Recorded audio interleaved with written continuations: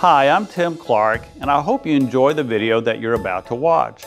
If so, please let me know by clicking the subscribe button.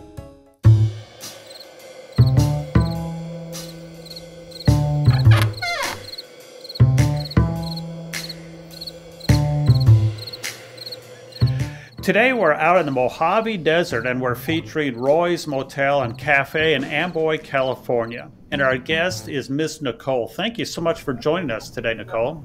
No, no problem. Thank you for reaching out to do this. This is awesome. Okay, great. Nicole, the town of Amboy and Roy's Motel and Cafe has such an interesting history. What can you tell us about the early years of both the town and the motel and cafe? So the town started off in about 1858 with the miners coming out here. They were mining everything from the gold, copper, gypsum. Um, we've got salt mines around here. Um, and then it just slowly became more and more popular.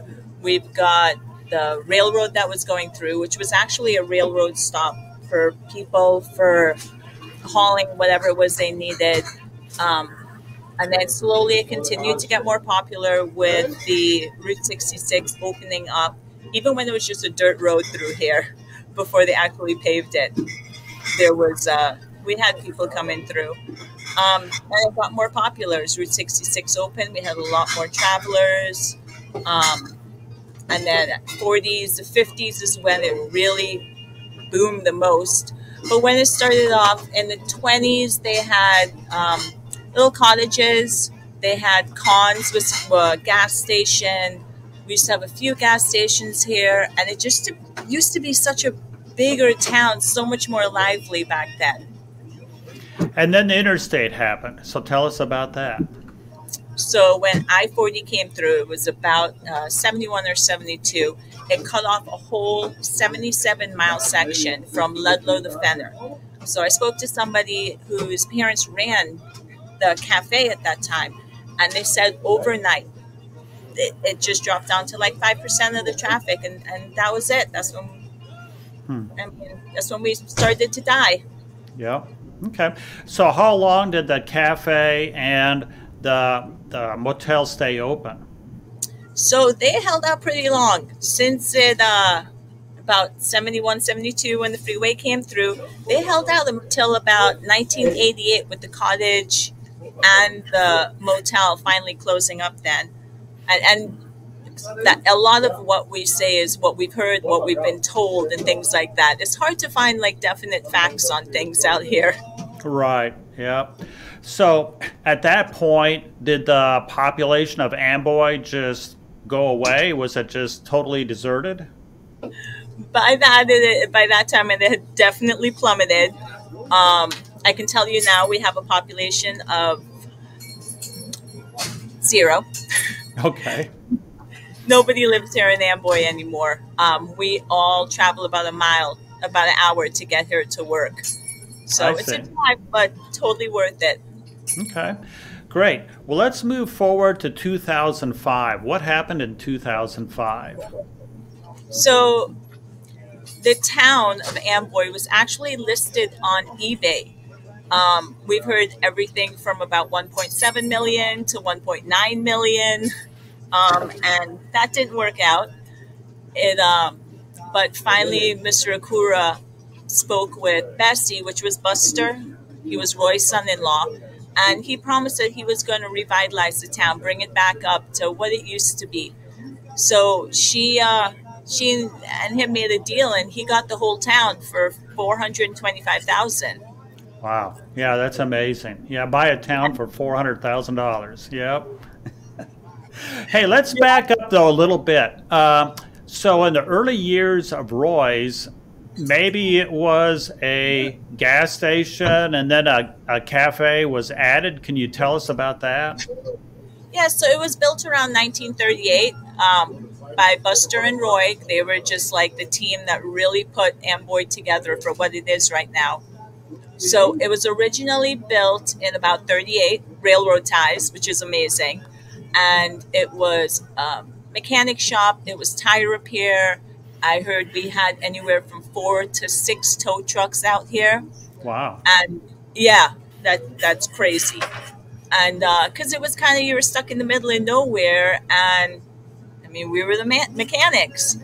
Um, but what did happen is she got tired of cooking for people that were stuck overnight, staying overnight because they were waiting for parts or whatever it was. So she said she wanted a cafe.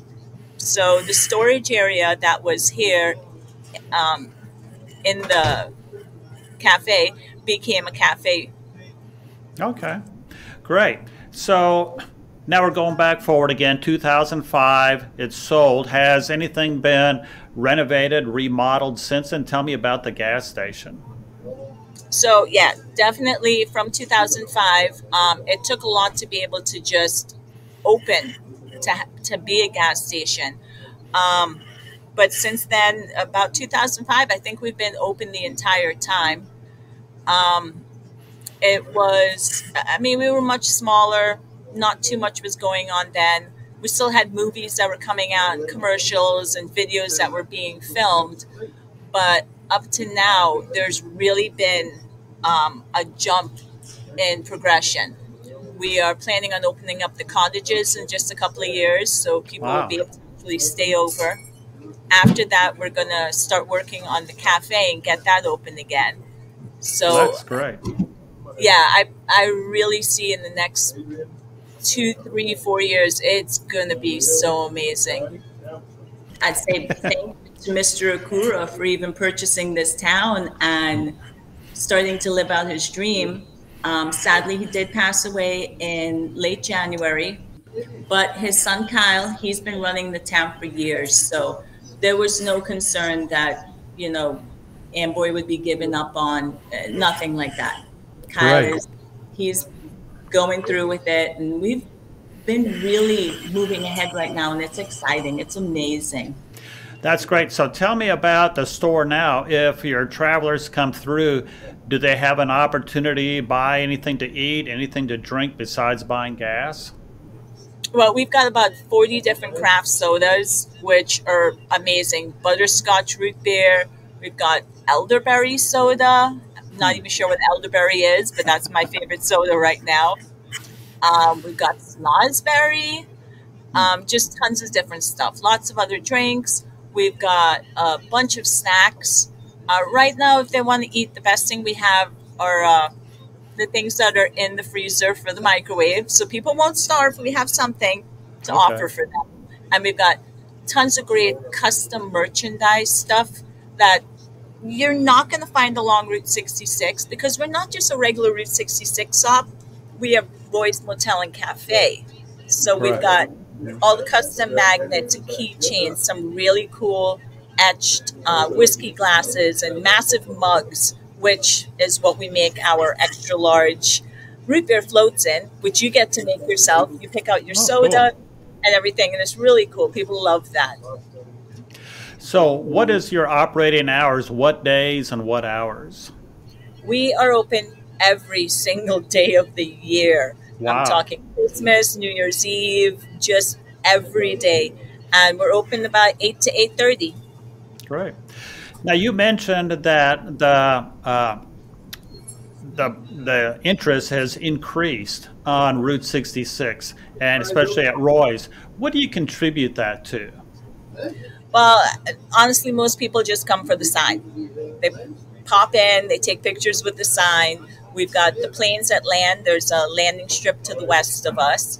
Um, they come, they land, and they really just pull the plane over to the sign, take a picture, and uh, then they're good. That's that's yeah. what they come for.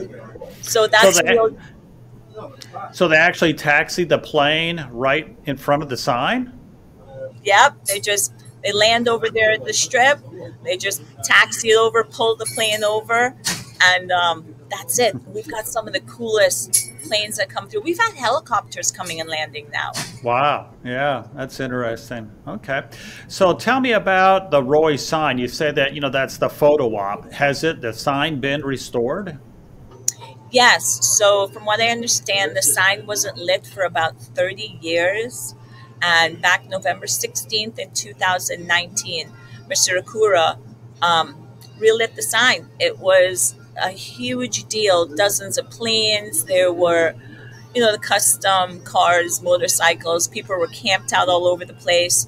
There were a group of people that have old military vehicles, like three quarter ton trucks, and they actually convoyed all the way from Chicago all the way here, Wow. just here for the opening. So, I mean, we had so many people. It was amazing. So, it was a really big deal.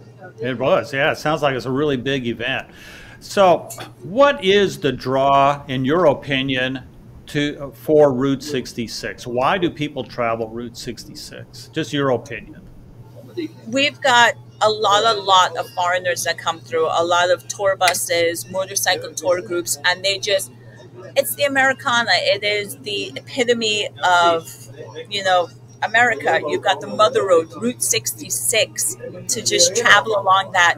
We've um, had some Italian kids, and they talk about a book that's really pop- popular in Italy about a young guy who traveled all of Route 66. And I've heard quite a few of them say how they were inspired by that, just to to kind of follow in his footsteps. Um, I've seen I've seen guys come through from outside the states, and they've got tattoos of Roy's on them. Oh, I mean, that's how passionate they are about it, more than I would have expected. Guys, guys are coming up and they're like, "Look, look! I've got, I've got all of Roy's tattooed," and I'm like, That's That's amazing. Yeah. So, your location, tell me about how far you are from Needles and how far you are from Los Angeles, approximately.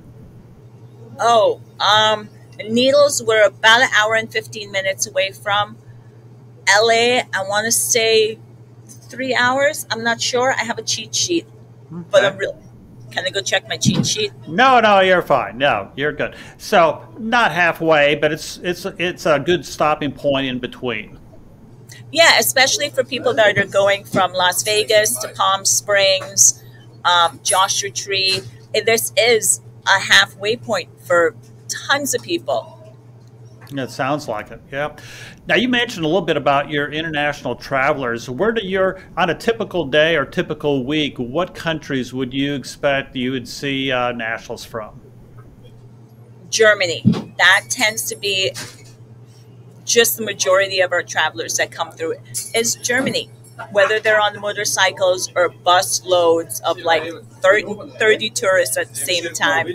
Um, that's it's Germany. And then we've got the Italians, we've got the French, we've had a lot of people from Poland and Holland recently that I noticed, but I mean everywhere, countries I've never heard of. They're like, where So- are you from? So cool. yeah.